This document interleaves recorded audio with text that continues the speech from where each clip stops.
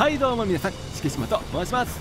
というわけで今回は太平洋キャンペーンで日本軍を使いつつ98式軽戦車 K2 の方を使っていきたいと思います。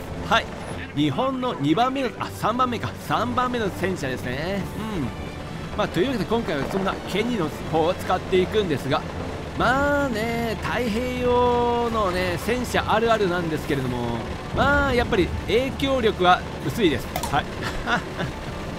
まあやっぱり太平洋戦争のねキャンペーンだとやっぱり日本もアメリカの方もそうなんですけどやっぱり戦車ってやっぱり影薄いんですよね、まあ、影響力がそんなないっていうのもありますけれども、まあ、特に日本の戦車の場合ですとあの戦車なんですけども榴弾がないんですよ。とハゴの方もなかったしこのケニの方もねあの 37mm 砲の、えっと、榴弾がないんですよ。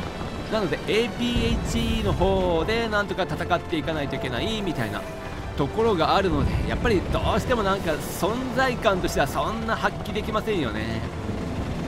まあハゴと違って同時期機銃ということなので、まあ、その辺りはね使いやすいかなって思うんですけれどももも早速赤点ナイス。まあとりあえずはやっていきましょう。まあ、同軸さっきも言ったように同軸機銃なんで、まあ、使いやすくはなってると思います。ハゴよりもね。でちょっと赤点が映ってるのでちょっと顔出し。ちらあれか。ああもう中身体です。こんな感じで同軸機銃なので砲手視点の方で同時にね機関銃撃てるという強さはあるんですがちょっとめっちゃ頭が邪魔なんですけどちょっと衛生兵ともう一両。あーダメか。期間中でやれやりますね。よしよし。で一応 APHE なんですけどもそこまでやっぱり加害力はないですよね、うん、APHE とはいえね。っていう。よし。はい OK まあなのでやっぱり砲撃に関してやっぱりそこまでそこまで強力ではないって感じかな。まあ、とはいえとはいえですよ。とととと。機関銃はまあそこそこ強いので、まあ、使っていきますね。まあそうですね。ハゴと同じで、えっと、20連発の弾倉です。20連発弾倉なんであっという間に弾切れを起こして、まあ、再装填って感じかな。ただやっぱりその再装填してる間にクールダウンが入るのでまあ重心加熱によるオーバーヒートは起こらないって感じですね。ただやっぱり頻繁にねリロードを挟むのでその辺りがちょっと面倒くさいかなっていう風な感じはあるんですがあれ屋上いますね。屋上いるな絶対いるでしょ絶対いますね。よしよし。あともう1人か2人くらいいそうなもんなんですががが。いないか、じゃあ次の拠点向かいますか。うーんさて。ぐるっと回っていきますか。ね。あんまりやっぱり無茶はできないんですよ。走行がね 12mm ぐらいしかないからね。近くに落ちた爆発パックでもかなりダメージを受けるって感じなんですよね。そう走行か。走行の話してなかったですね。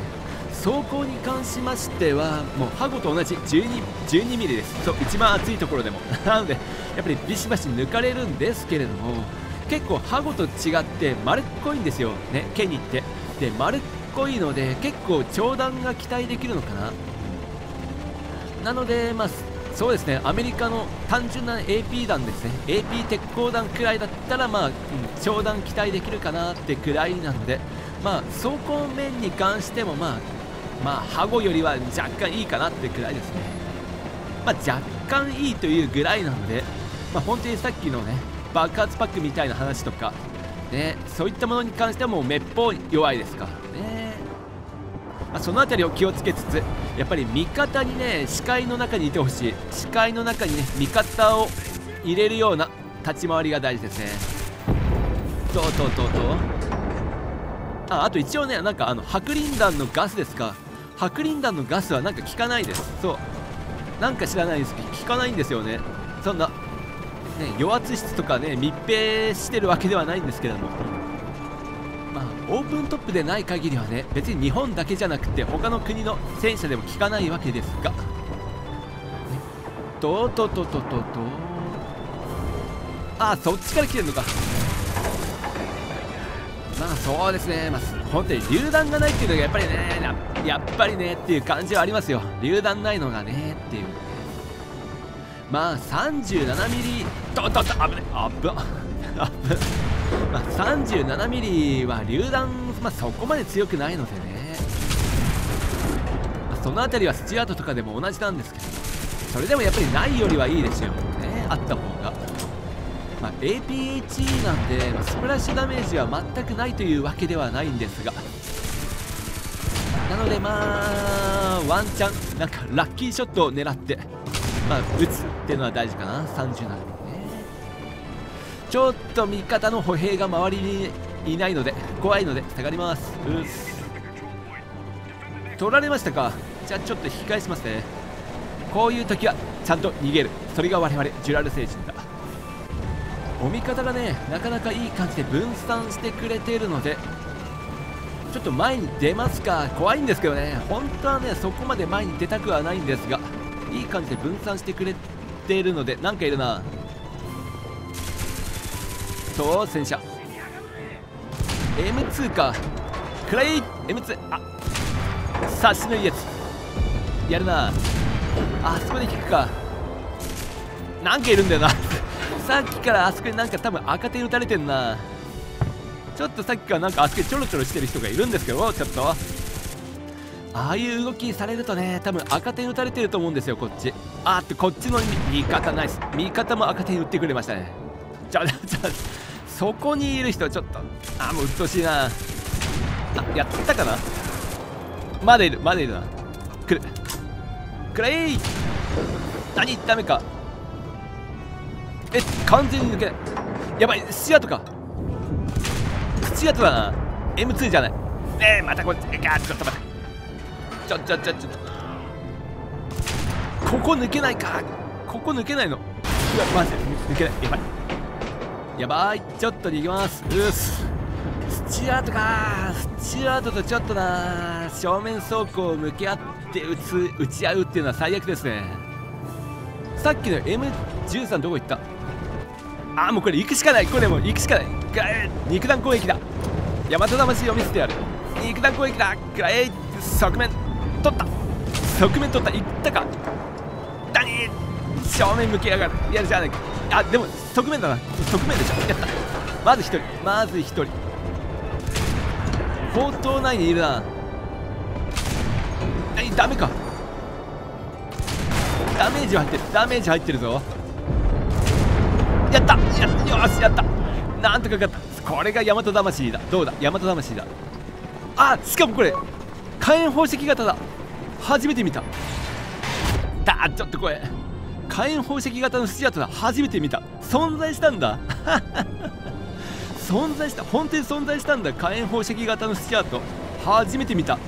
初めて見たやつを初めてやった。危ねえ。ちょっと待って。誰かいる。敵歩兵まで逃げます。うっす。ちょっと逃げます。初めて見た。スチュアートやっぱりいたんだ。火炎宝石型。ね。あっ。ぶなやっぱりああいう時はねやっぱりビビったら負けですね。あっぶない。の辺りが最前線。